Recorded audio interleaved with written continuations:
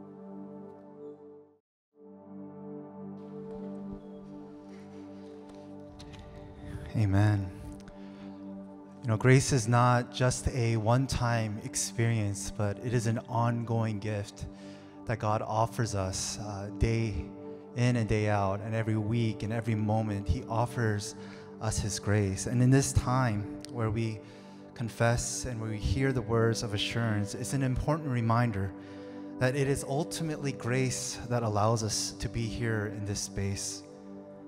God is the one that first pursued us and moved towards us in love. He breaks that ice so that we can have confidence to then now boldly approach Him. You know, but as His children, as we get to know our Father's heart, uh, we can't help but feel inadequate because our Father, He is, he is perfect. He is holy in every way. And so we do things that we ought not. And we failed, fail to do things that He calls us to do. And this is a struggle for all of us. And so confession is an opportunity for us to bring all our sins, our brokenness, and our failures before Him. And the promise is that if we do, that He is faithful to forgive us.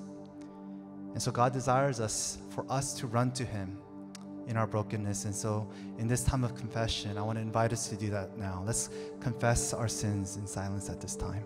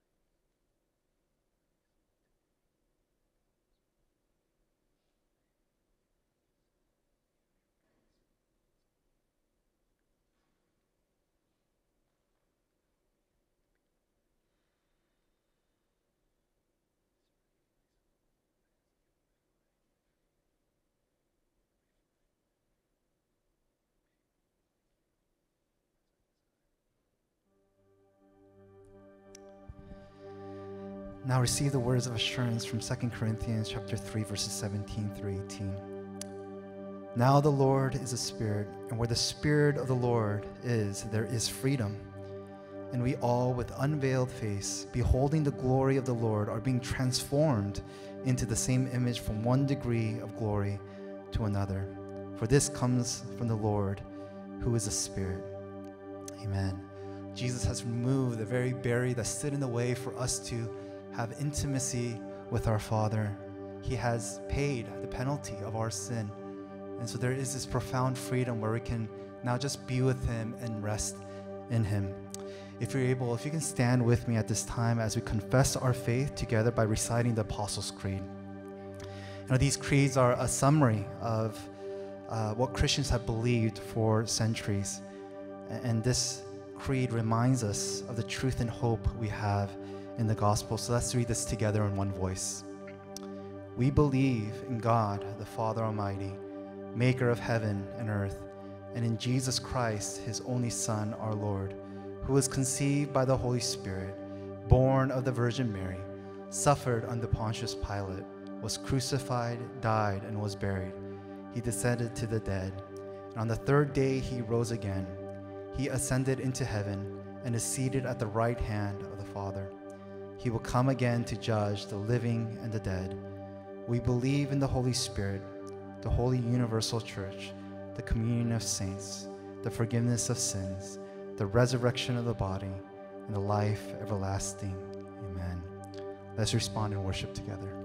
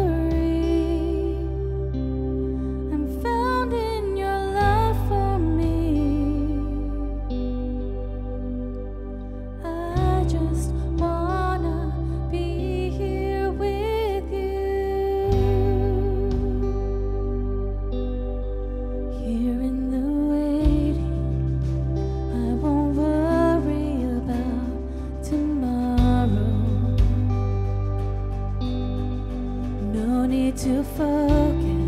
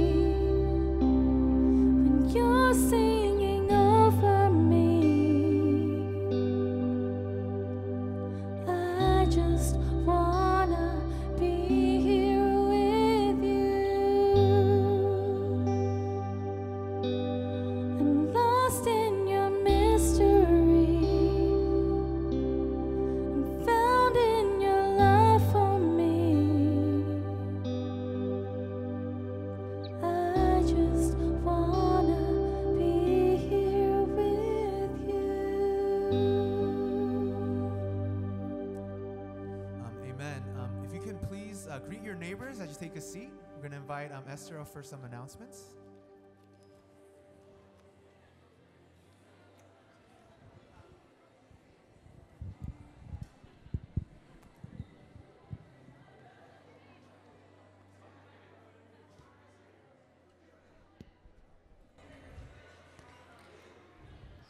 Good morning, citizens, and happy Sunday. Uh, my name is Esther, and I oversee city partnerships here. Um, and I just wanted to say that I'm so happy to see all of you, um, for those that are joining here with us right now in person, but also those that will be joining us online later this evening. And I especially wanted to um, welcome any of you that are here for the very, very first time. We are so glad that you have decided to worship with us today. Um, we'd love to get to know you, so after service, um, you can come up to me or any of our other staff um, or even any of our volunteers. Um, we'd love for you to get connected to our community. Um, but before we invite Jason up to bring us God's word, I do have some announcements for us today. Um, we have quite a few, so please uh, bear with me. They are all very, very important announcements. Um, so, as many of you know, through the month of May, we are continuing, continuing to support our friends at Lincoln Heights uh, tutorial program for their Give in May campaign, where they are raising funds for the many different programs they have throughout the year. Um, Dennis and Trin, who now attend our church, have been doing such incredible work uh, with the students of their program for the last 30 years. Um, we're really excited to continue supporting them through various events. And um, if you are feeling led to give, we'll be showing a QR code at the end of the um, announcements. Our next announcements is for all of our newcomers. Um, there will be a lunch that will be happening next Sunday after service, May 29th. Um, this is something that's new for us as citizens, and we're hoping to do it every last Sunday of the month. Um, being new to a church can feel overwhelming and it can be difficult to find people to connect with. So, we're hoping that these lunches can give us all an opportunity to meet one another and grab a delicious meal together after service. So, anyone who wants to join are welcome, but we especially hope that if you are new, that you would join us. Um, so next Sunday, we will have um, someone outside with a newcomer's lunch sign, and then we'll all decide together where we'll be heading um, for lunch. Um, next is a really, really special um, opportunity that we have coming up. One of our members, named Candy Chung, is on the board for a nonprofit called Minds Matter. And Minds Matter is a nonprofit tutoring and mentoring program for driven and determined high school students living in low income and undervalued communities across Los Angeles and Orange County. Um, so specifically, on uh, May, or sorry, on June 12th, right after service, it'll actually be right here, so it'll be super easy. Um, we're going to be actually making some like swag bags um, for students that are participating in their upcoming career incubator. Um, it's an annual event. Uh, where we invite panelists from different careers um, that these students otherwise would not have been exposed to to discuss topics such as their career path, day in the life, etc as well as how diversity, equity, and inclusion is like in the workplace and industry. So if you guys are interested, uh, please join us. We're just gonna kind of like set up an assembly line here and create the swag bags. You don't need to bring anything, just um, you just need to show up. Lunch will be provided, um, but we do need you guys to RSVP, so you can also RSVP through the QR code or the link on our website. Um, and lastly, we have our upcoming congregational meeting that will be taking place on June 12th at 8 p.m. on Zoom. We will be hearing from the finance team as well with, as Jason um, uh, on various different ministry updates. Uh, we will also be voting on the budget for the upcoming fiscal year. So anyone is welcome to join, um, but only members would be allowed to vote on the budget. Um, so that's all we have for announcements. You can sign up for any of the events that I talked about by scanning the QR code on the screen or by clicking the link in the bio of our Instagram page. Um, and before we invite Jason up to give us the word, we'll be going into a time of offering. We believe that giving is an act of worship. And if you're new to Citizens or visiting for the very first time, uh, please don't feel pressured in any way to give. But if you call Citizens your home, we do encourage you to give with grateful hearts. Uh, you'll see a number you can text on the screen, and if you're joining us online, you can click on the link that you'll see in our caption to our giving page. So please take the next few moments to do that as we invite Jason to give today's word to us.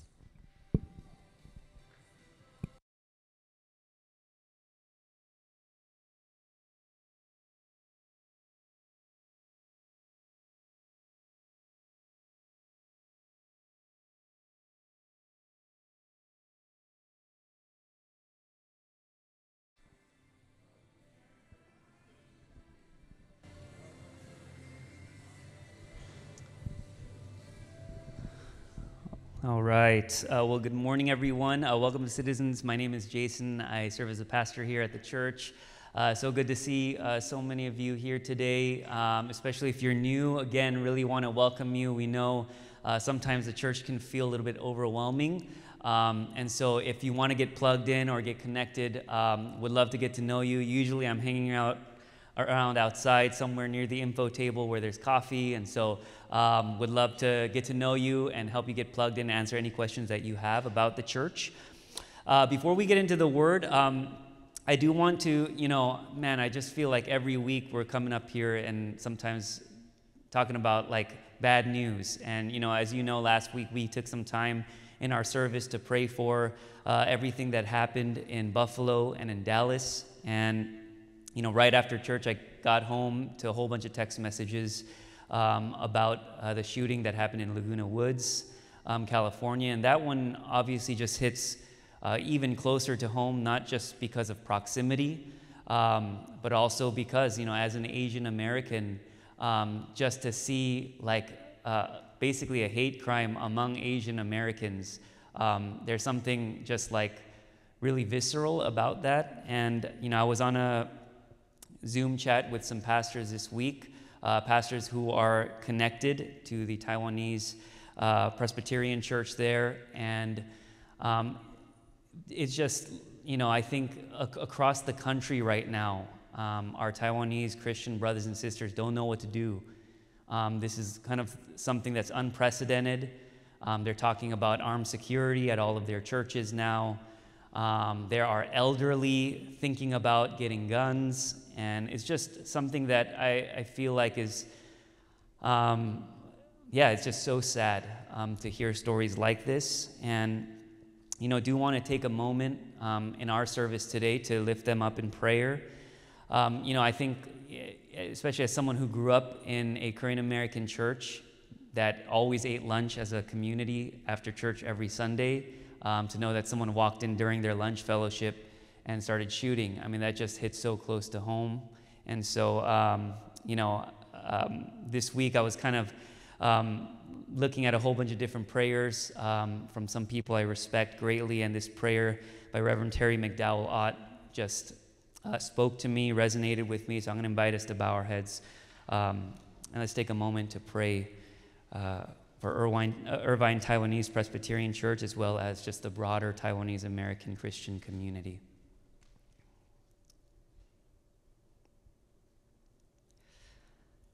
God of grace, we lament the violence. For those who have no words, those holding themselves, rocking with each wave of grief, those planting both feet, seeking balance in crisis and chaos those who moan, weep, and wail the names of their dead, those sitting silently in front of their screens, sickened by the shootings, by the innocent lives lost, by the hatred that fuels such violence. We pray, O oh God. We pray for the victims in Laguna Woods, California. We pray for those terrorized and traumatized by horrific shootings. We lament for the lessons the shootings teach us over and over about the brokenness of our humanity and the hatred that has been undeniable and unrelenting. We pray for the people who pay the price for that hatred, day after day, year after year, century after century. We pray for our Taiwanese siblings in California targeted during the violence at Geneva Presbyterian Church. We pray that your people find comfort in your saving grace. Our land is troubled and our peace disturbed. God of love and life, Guide us by your truth. Bend the arc of the universe toward justice. Inspire us with courage to resist the evil of racism, to proclaim your inclusive love, to root out the enemies of righteousness, to persist for peace. Let nothing move us from your path of love, blessed God. Let nothing sway our confidence that you are with us. Turn our eyes to Christ and the promise of our redemption. Amen. Amen. Amen. Uh, well, I have the privilege, as always, of bringing us God's word. Um, our word today comes from John 15. Uh, you're going to see it on the screen behind me, but if you want to follow along on your phone or in a physical Bible, uh, John 15, we're reading the ESV, so the English Standard Version, and I'm just going to read verses 1 to 11. John chapter 15, verses 1 to 11. This is the reading of God's word. I am the true vine, and my Father is the vine dresser. Every branch in me that does not bear fruit, he takes away, and every branch that does bear fruit, he prunes, that it may bear more fruit. Already you are clean because of the word that I have spoken to you. Abide in me, and I in you. As the branch cannot bear fruit by itself unless it abides in the vine, neither can you unless you abide in me. I am the vine, you are the branches. Whoever abides in me and I in him, he it is that bears much fruit. For apart from me, you can do nothing. If you abide in me and my words abide in you, ask whatever you wish, and it will be done for you. By this my Father is glorified, that you bear much fruit and so prove to be my disciples. As the Father has loved me, so have I loved you. Abide in my love. If you keep my commandments, you will abide in my love, just as I have kept my Father's commandments and abide in his love. These things I have spoken to you, that my joy may be in you, and that your joy may be full. Amen.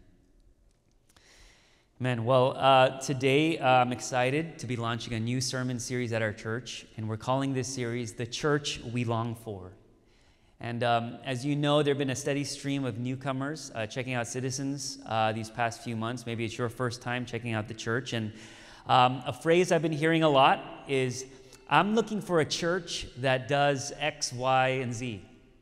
Or I'm looking for a church that has a certain kind of vibe, or a certain kind of preaching, or a certain kind of music uh, or, or, speaks to a certain kind of age demographic or has uh, specific children's programs. And, and you realize as you talk to different people how different our expectations are of what the church is and what the church should be. And I think oftentimes these expectations shape our experience of a church. Um, more often than not, they determine whether we choose to stay or leave a church. Um, and while I think sometimes these expectations can be a little bit idealistic or even misguided, um, I do think they speak to something deeper that all of us are long, longing for. You know, I think we can all agree that we're all looking for a community where every person is seen, known, and valued. I think we can all agree that every person here wants a community where people genuinely love Jesus. A community that looks after the forgotten and the marginalized, a community that places the needs of others before themselves. And I think on one hand, you think, isn't this what all churches should look like? But I think if we're honest, so much of our experience has not shown that to be the case.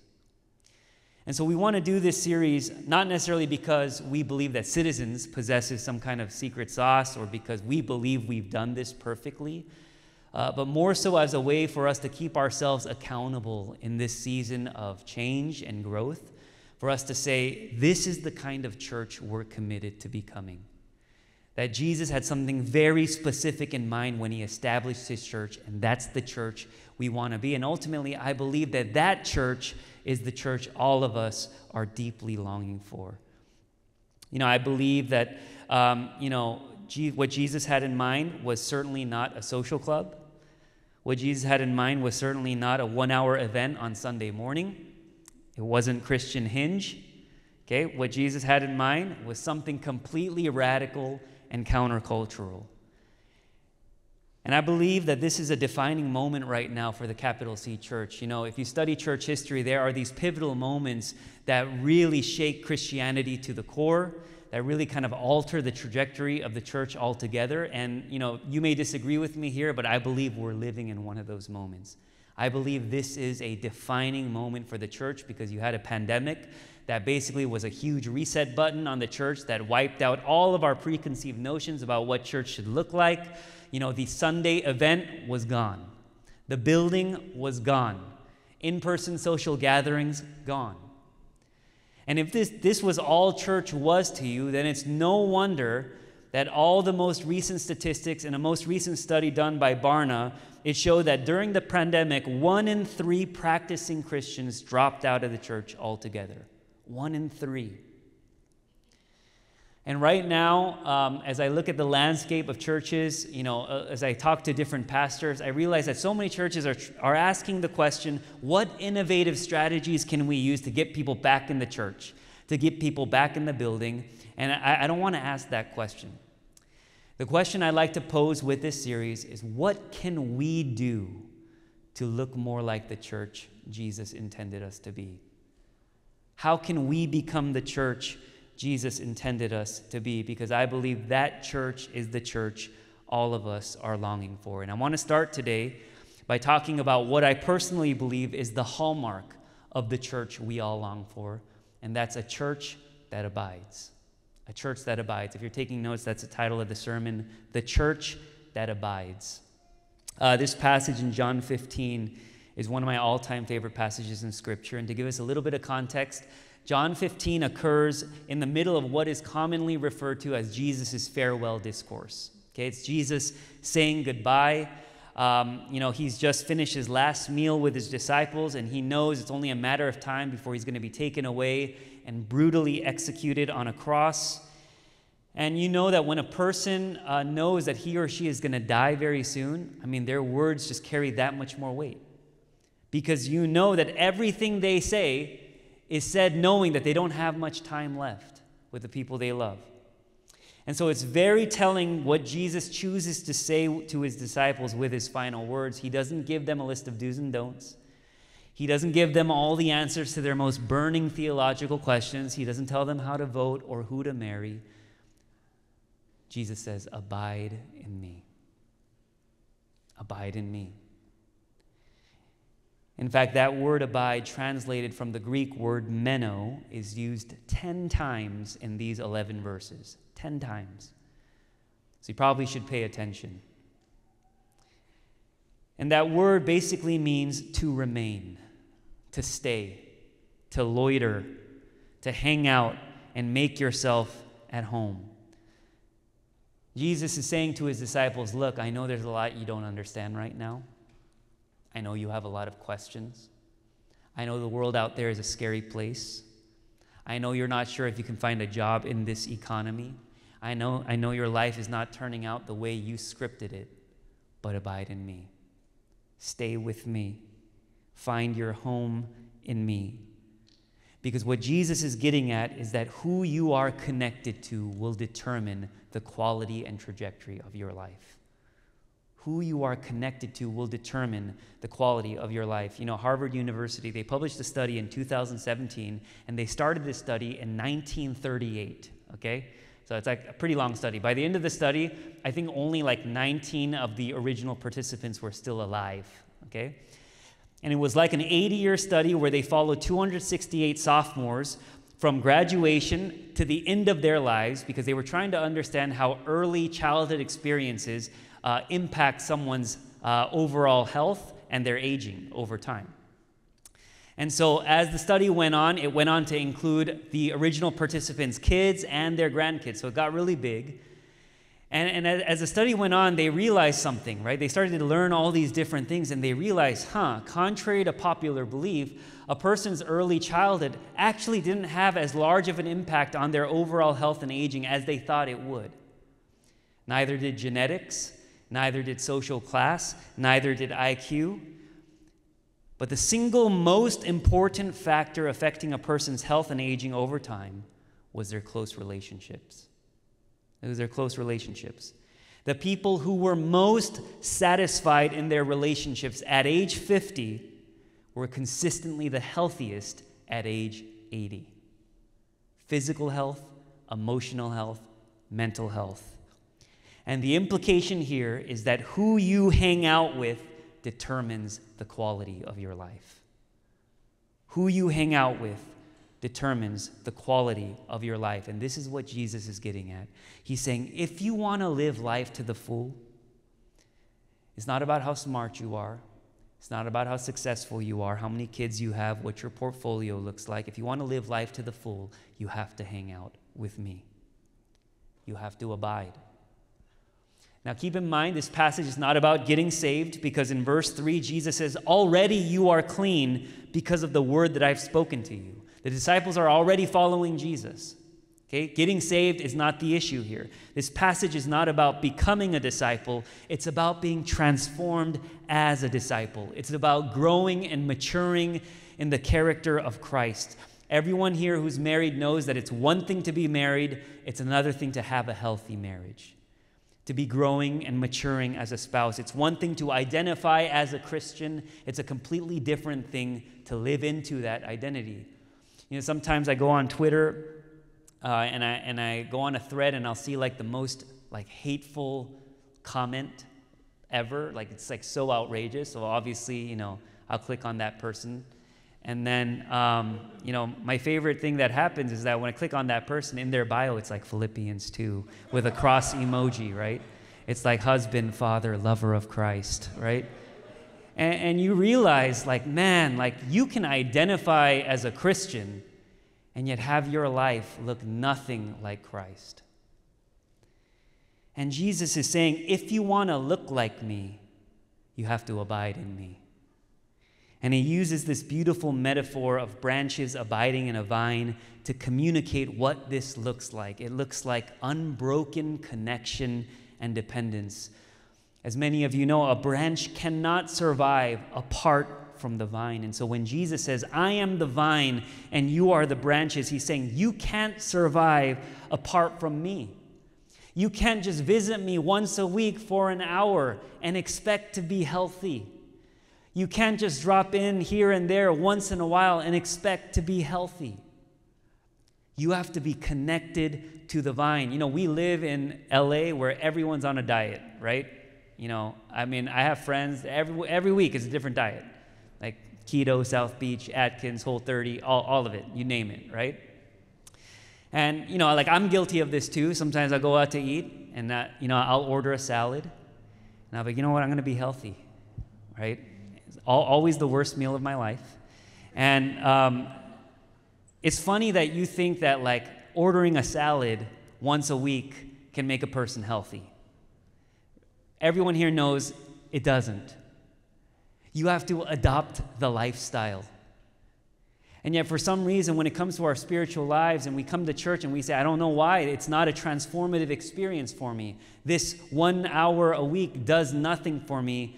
The question is, is this just your salad? Or are we abiding in the vine? Because Jesus says, A branch that is disconnected from the vine will wither and die. In verse 6, he says, If anyone does not abide in me, he is thrown away like a branch and withers, and the branches are gathered, thrown into the fire, and burned. They're as good as dead. Well, what does this mean then? You know, and I think it's easy to read a passage like this to say, like, well, does this mean that like every waking moment I have to spend at church? You know, I gotta like sing praise songs at work and like, you know, I carry around my Bible and pray all the time. You know, and I think that's like, you know, obviously don't do that because that's weird, right? I mean, but I think that's often what we think, the image that comes to mind when we think abide, right? You know, I remember growing up in youth group and you know, the worship leader, like last night of the retreat, everyone's crying, right? Everyone always cries the last night of the retreat. And I remember, like, you know, it'd be like three in the morning, we're still praising. And the worship leader would be like, and guess what? We're going to be doing this for all of eternity. And I would be like, oh, man, but I don't know if I, I like that. You know, it's like, I love singing and I love praise, but like, I mean, like, are we going to eat sometimes? And like, you know, can, can we do something different? And I think when we think of like abiding and staying connected to the vine, like this is the image we have doing churchy things, doing spiritual things, doing things that feel like they're godly. And I think too often we've confused doing things for God and knowing a lot about God to actually being with God. You know, you can know a lot about a person now just by stalking them on social media. You can know a lot about a person by Googling them. You know, there's actually quite a bit of information on the internet. But you can't really know a person until you spend time with that person. I can do a lot of things for you, but I can't really know you unless I'm actually spending time with you. Right? Many of us grew up in homes where our parents did so much for us, but never hung out with us. Right? And I, you know, obviously, this is at no fault to them. Many of our parents were immigrants, came here from a different country without knowing the language or the culture. I mean, they were just trying to survive, they were just trying to put food on the table. Right? But I think oftentimes they got it confused that just because they were doing so much for us, they equated loving their children with doing things for them, but often rarely being with them. I know that so many of us in here have had that conversation with our parents where they've said, Do you know how much I've done for you? Do you know what I've sacrificed so that we could live in this home, in this city, so that you could go to this school? How dare you say I don't love you? To which many of us responded, But all I wanted was some time with you. And I think even in our generation of parents, we're guilty of the same things. we often equate doing for as being the same as being with. And sometimes I realize how much that paradigm has shaped our relationship with God. We often think that doing things for God is the same as being with God. Um, in his chapter in the book Intersecting Realities, uh, Daniel Lee, who's actually a member of our community, so it's really cool when I get to quote someone who actually comes to our church, but he says something really interesting, and I'm going to put it on the screen uh, behind me. He says, So often we confuse godliness with God. The point of spiritual practices is to open ourselves up to God's presence, encountering God in and through these acts. In other words, they are tools, a means to an end. They are not meaningful in and of themselves because then they can become idols replacing God. Without this reminder, these practices can become terrible tyrants, oppressing us with their demands of spiritual performance. This is why church, ironically, can be a perfect place to miss God. Why? Because there are so many spiritual, godly activities in church that we can so easily substitute for God. We can actually miss the living God and get sidetracked by godliness. Wow. I mean, I think that's many of our experiences. Now, I want to ask, I want you to ask yourself this question What would being a Christian mean to you without your spiritual, churchy activities? What would being a Christian mean to you without coming to church on Sunday, going out to a small group, reading your Bible, praying, serving? What would being a Christian mean to you without all the doing? I have to ask myself that all the time because I'm a pastor. So being a Christian is in my job description. But what would being a Christian mean to you without all the doing? Sometimes our Christianity can be so much about doing things for God that we simply forget to be with God. To be with God on the way to work, to bring God into everyday decisions, to do something you love with God, to take a walk and simply enjoy God.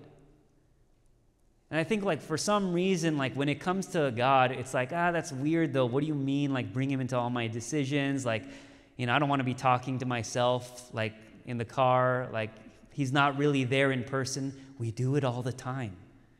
We do it on our phones. We talk to people that don't exist all the time, that we don't see with our eyes. What would it look like to become consciously aware that God is with us everywhere we go?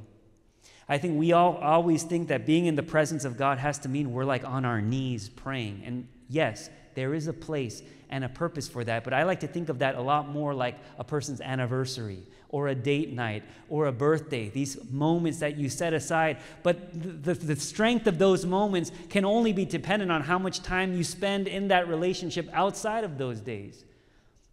It would be very awkward, strange anniversary dinner if you go out for your anniversary and you have spent no time with your spouse whatsoever. And yet, often, this is characteristic of our relationship with God. Abiding in God is acknowledging His presence everywhere we go. And if we're honest with ourselves, I think so much of our relationship with God has become so transactional. We talk to Him only when we need something from Him or when something isn't going right. We're always approaching God with an agenda. Abiding has no agenda. It's being with God for the sake of being with him. You know, I, I realized that I had, to, I had to call my parents more because I remember, you know, there was a season when, like, I would call my mom and she would pick up the phone, like, Are you okay? What do you need? What's wrong? And I was like, Oh, no, no, no. It's just, just calling just because. She's like, Are you sure? And I realized, like, so much of how we relate to God is like that. Something dire has to happen in our lives, and then we're like, we get the whole community to pray for us. We're on our knees, we're praying. It's like, when's the last time you were just unproductive with God? When you called God and, and God was like, What's up? And you're like, Nothing. What's up? Now, how do you know you're abiding? Because abiding still can be like kind of nebulous, right? And I think Jesus tells us, Jesus says, abiding produces fruit. He says, Whoever abides in me and I in him, he it is that bears much fruit, for apart from me, you can do nothing. He says, The longer you hang out with me, the more your life will start to look like me. And it's interesting, the Apostle Paul used the same word for fruit found here in John 15 and Galatians 5 when he talks about the fruit of the Spirit. He says, But the fruit of the Spirit is love, joy, peace, patience, kindness, goodness, faithfulness, gentleness, self control. Against such things there is no law. In other words, Jesus is saying, You will know you're connected to the vine. You will know you're connected to the life source that is me if your life begins to emanate these qualities love, joy, peace, patience, and so forth. And Jesus isn't just talking about behavior, because we can all act loving for a day. We can all act kind and joyful for a moment. Jesus isn't talking about behavior modification. He's talking about an inward transformation of the heart that makes us into people of love, people of joy, people of peace. You know, like if you, right now, like our staff, we're really close, we have great relationships. And if you asked our staff to imitate each other, we could right? Because, you know, everyone has very distinct mannerisms. And so, you know, if you told me to imitate anyone on our staff, I probably could. Now, with that said, now we've actually spent so much time together, working together, that people in our community are telling us we actually are starting to talk alike. We actually are starting to have similar mannerisms. And that's actually not us trying to imitate each other. That's the byproduct of spending so much time together. Right? This is why spouses often start to like say the same things, speak in the same way. They sometimes even start to look like each other because it's the byproduct of hanging out a lot. Being Christian is so much more than a label, it's a way of life. And if your life is not producing the fruit you desire, perhaps it has something to do with who or what you're connected to, who or what you're abiding in. If you're connected to a toxic relationship, your life will emanate toxicity. It will. If you are connected to social media 24 7, your life will start to look like walking curated performance art. If you are connected to Twitter 24 7, your life will start to look like your Twitter feed. You will start to be so mad and hate everyone who disagrees with your views. If you're connected to your Robinhood account or Coinbase 24 7, you will start to look like it. Your mood will swing as the market swings. So I'm sure some of you have really bad moods right now.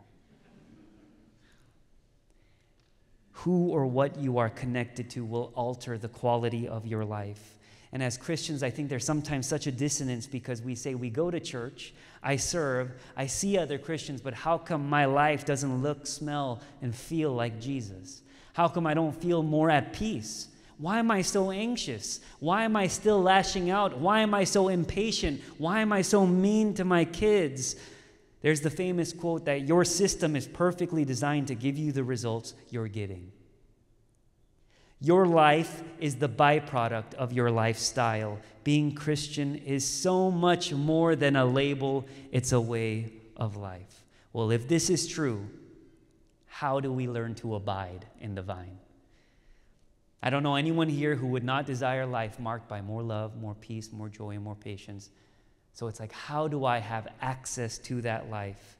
How do we learn to abide in Jesus so that we can become more like him? And I think this text gives us two ways through pace and through pain. Okay, through pace and through pain. First, through pace. You know, the word abide is kind of a foreign word to us because the concept of staying anywhere or remaining anywhere for a long period of time is a foreign concept to those of us who live in LA in 2022. Our lives are go, go, go, do, do, do, achieve this, accomplish that. Most people don't even stay in LA for longer than two years. It's so hard to do ministry here because the moment you get close to someone, they're gone. The idea of abiding is just so foreign to us because we always have something to do, somewhere to go. And this is why the pandemic was so devastating to us, especially in the beginning, because everything stopped. No more concerts, no more sporting events. All of our events were gone. We had nowhere to go, no one to see. And all of us experienced some level of withdrawal, right? You know, when something like feels so normal, you almost have to be taken out of that normal in order to see how abnormal your life was. You know, sometimes like you don't realize how toxic your work situation is or your company is until you go and work for a different company that gives you a much better work life balance. And you're like, oh my goodness, that was traumatic where I was before. I feel like that's what the pandemic was for a lot of us. And now, I mean, it's sad to see it, but we're all kind of going back. Like, I know I speak for myself. Things are just busy again, things are hurried again. And right now, I don't think many of us realize that we're running at a pace that makes abiding in Jesus nearly impossible. But see, it takes time for plants to bear fruit. It takes time. They need to be tended, they need to be watered, they need to be constantly connected to their source of life. Branches do not bear fruit overnight. This is why they have to abide. It's a slow process. But see, our culture doesn't train us to slow down, right? It trains us to speed up. Do, do, do, go, go, go, right? This is why the philosopher Dallas Willard once said, Hurry is the great enemy of spiritual life in our day. Corrie ten Boom said that if the devil can't make you sin, he'll make you busy. Because both sin and busyness have the exact same effect. They cut off your connection to God, to other people, and even to your own soul. You know, many of you know uh, we just finished a book club on the ruthless elimination of hurry, amazing book by John Mark Comer. And he says, Hurry is violence to the soul. In order to learn to abide, we first have to learn to slow our pace. That email you have to write will still be there tomorrow. That thing that right now you're getting antsy, even sitting here, you know you have to do right after church, don't worry, your life is not going to end. It's still going to be there tomorrow. Because busyness and hurry come so naturally for us, we actually have to intentionally carve out space to slow down and abide, to turn off, to disconnect, to go for a walk, and be unproductive with God. This is what's training our hearts to abide. So, number one, we need to change the pace. Second way we learn to abide, and this one sucks, but it's through pain. And this is not easy. Um, and this is not to say God brings pain into your life, but if God's desire is for you to become a fruit bearing plant, then He will use anything at His disposal, even pain, to bring that about. Sometimes, if you don't slow down, God will slow you down. If you don't humble yourself, God will humble you. That's why I never pray, God, humble me. I just try to humble myself. It's a horrible prayer, right? In verse 2, we read that every branch in me that does not bear fruit, he takes away, and every branch that does bear fruit, he prunes, that it may bear more fruit. And the Greek word translated take away is the word airo, which also can be translated to lift up. Isn't that interesting? It can be translated take away and lift up. That sometimes what feels like God is taking away can be God lifting us up so that we can bear fruit. Sometimes we lose someone or something we love and cherish deeply, and we can feel angry because we say, God, why would you take that thing away from me? Why would you take that job away from me? Why would you take that relationship or that friendship away from me? And it feels like God is taking us away from the things that are good in our lives. But you see, God doesn't want us to abide in anything other than Him. So often, He will use these moments when we feel like we're losing the thing we love most in order to draw near to us and show us that the only one we really need is Him. But the second part of that verse is also really interesting. It says, Every branch that does bear fruit, He prunes, that it may bear more fruit. Do you ever feel like pain like comes in the worst possible moments? Right? Things start to feel like, okay, I'm, I'm finding a good rhythm. You know, I feel like things are good with my parents. I feel like things are good with my spouse for the first time in a long time. I feel like we're hitting a, a nice stride. I feel like I'm reconnecting with the community. I feel like my spiritual life is actually move on, on, on an upward trajectory. And then all of a sudden, one thing happens and we're back in the darkness. One conversation, we're triggered back in the darkness. And it's like, what, what are you doing? What is that? And yet God says, for those bearing fruit, he prunes so that they can bear more fruit. And it's so frustrating because you start to feel like I'm growing, I'm maturing. What is going on? And, you know, if you've ever seen a vine dresser prune a vine, you can go look it up on YouTube. It looks horrible. Like, it literally looks like they're tearing the vine to shreds. They're just cutting things away, they're, they're, they're massacring it. And it's like, what are you doing? But every vine dresser knows his vine intimately and knows what to do in order to maximize fruit. And I think there are seasons in our lives when we see God coming at us with shears, and we're like, no, no, no, no, no. What are you doing, God? Those are sharp. What are you trying to take away? What are you telling me to do? Not realizing that God knows us intimately, and He knows what needs to be taken away and knows what needs to be cut out of our lives to produce maximum fruit. I talk to people in our community every week who've experienced tragic loss over the past couple of years.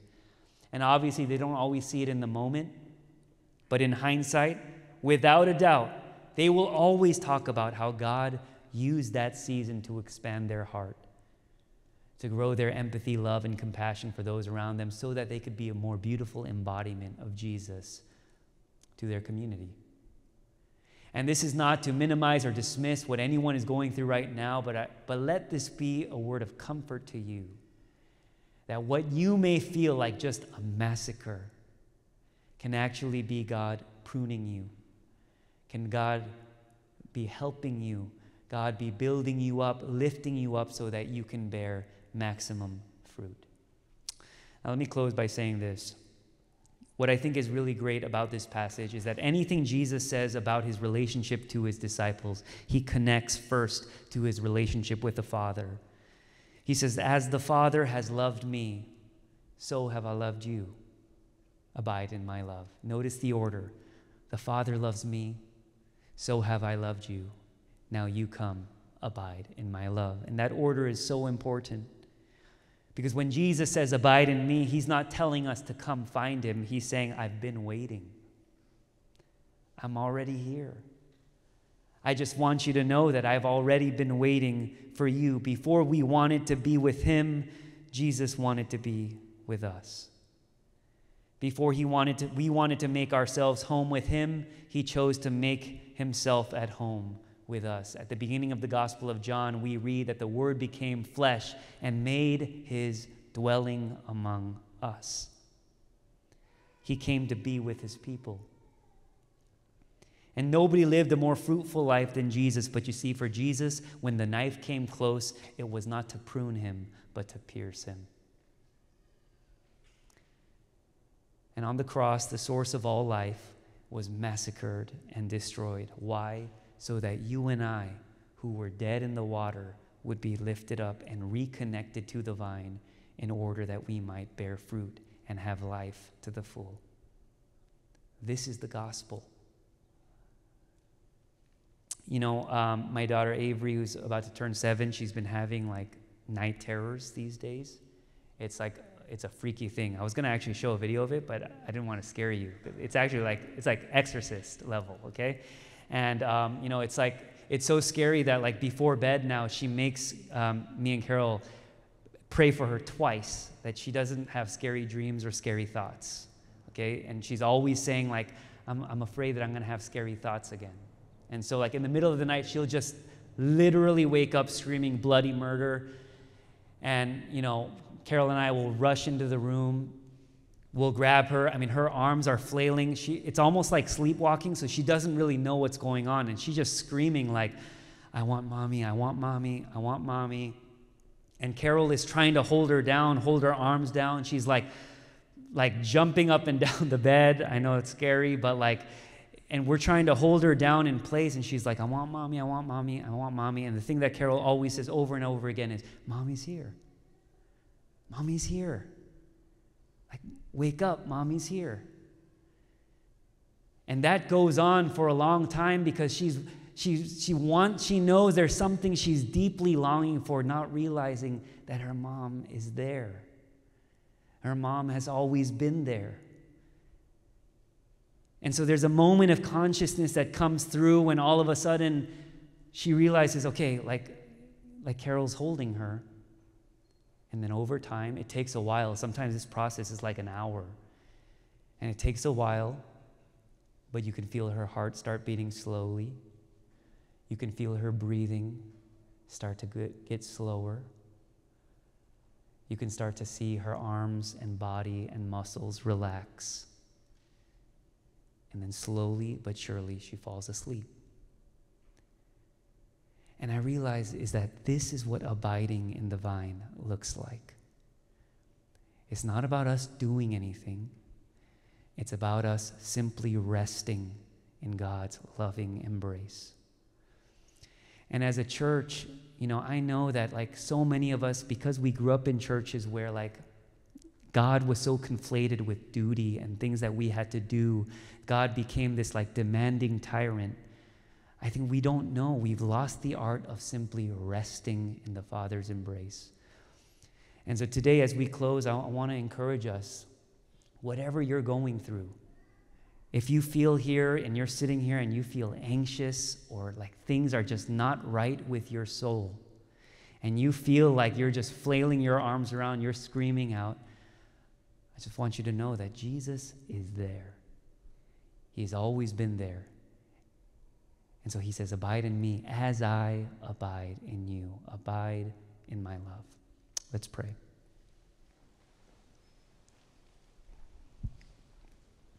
I want us to take a moment and just sit in silence.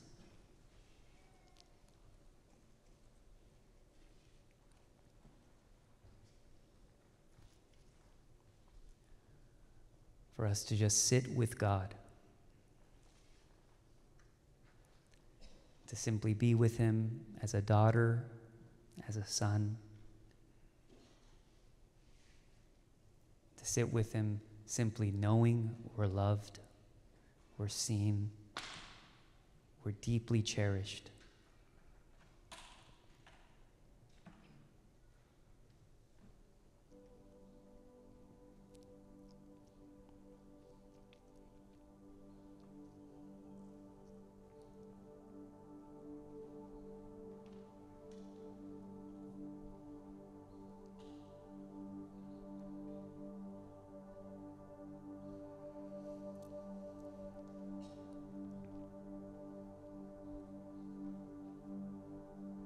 As a way to close, I like to read this uh, prayer that I adapted from St. Patrick. That these words would resonate in our souls even as we sit here in this place. I abide today through the strength of heaven, light of the sun, splendor of fire, speed of lightning, swiftness of the wind depth of the sea, stability of the earth, firmness of the rock. I abide today through God's strength to pilot me, God's might to uphold me, God's wisdom to guide me, God's eye to look before me, God's ear to hear me, God's word to speak for me, God's hand to guard me, God's way to lie before me God's shield to protect me, God's hosts to save me afar and anear, alone or in a multitude. Christ, shield me today against wounding. Christ with me, Christ before me, Christ behind me, Christ in me, Christ beneath me, Christ above me, Christ on my right, Christ on my left Christ when I lie down, Christ when I sit down, Christ in the heart of everyone who thinks of me, Christ in the mouth of everyone who speaks of me, Christ in the eye that sees me, Christ in the ear that hears me. I abide today through the mighty strength of the Lord of creation. Amen. Amen. If you're able, I'm going to invite us to stand.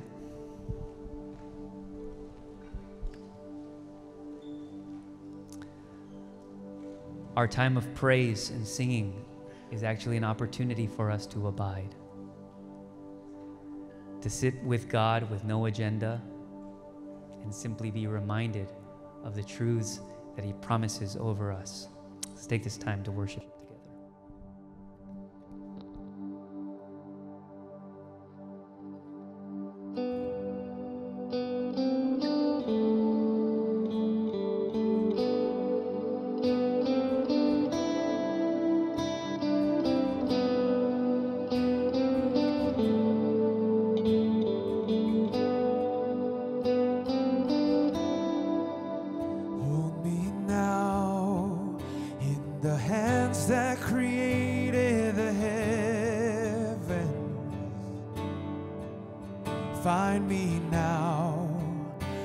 The grace runs as deep as your scars. You pull me from the clay and set me on a rock. Call me by your name. May my heart whole again. Lift it up. My knees, know it's all for your glory. I might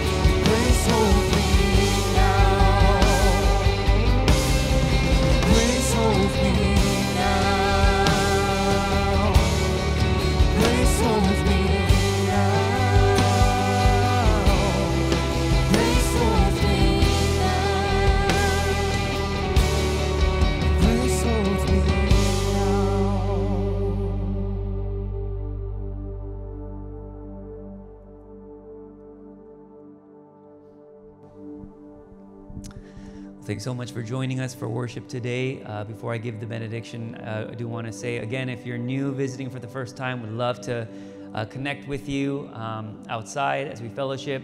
Um, for parents, there's a, an elementary fun lunch happening uh, right here after the service, so uh, definitely don't miss out on that. Um, and also, if you could help us greatly, um, right after the service, you could grab the chair that you're sitting on and help us rack them on my left and my right. Uh, that would help our hospitality team greatly. With that, please remain standing for the benediction. And now may the grace of our Lord Jesus Christ and the love of our Heavenly Father and the sweet, abiding fellowship of the Holy Spirit be upon you now and forevermore. Amen. Amen. Go in peace. Have a great week, everyone.